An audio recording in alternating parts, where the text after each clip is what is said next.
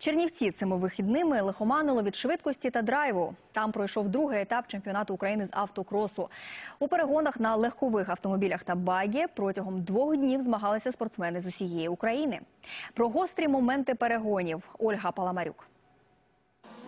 Звання кращого з кращих два дні виборювали 40 гонщиків зі всієї України. Траса в нас досить складна. Е, Траса це 1 кілометр 250 метрів. Е, Дуже багато поворотів, складних підйомів. Е, Як для автокросу е, вона дуже підходить. Учасники змагались в кількох класах: легкові автомобілі, багі та міні-багі. Вік наймолодшого гонщика 5 років. Юні спортсмени діляться секретом успіху. Тут є дві педалі: педаль газа і педаль тормоза.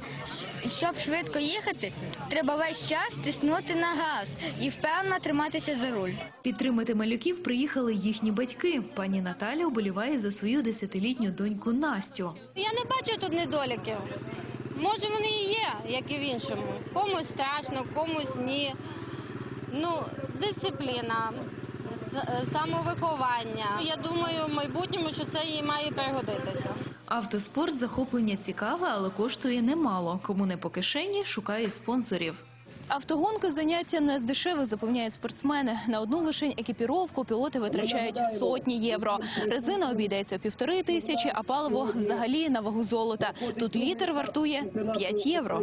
Та найголовніше в автоспорті переконують гонщики бути з технікою на ти.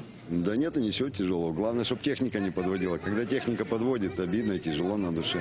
Вложенные деньги, время, труд, опять же болельщики, спонсоры. Или когда сам оплошаешь, это вообще стыдоба, хочется голову спрятать в песок.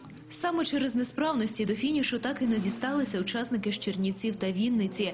Перемогу в різних класах здобули гонщики з Кременчука, Харкова та Донецька. На черзі у спортсменів підготовка до Кубка України, який відбудеться вже за два тижні в Одесі. Ольга Поломарюк, Ігор Ріга. Новини телеканал Інтер. Чернівці.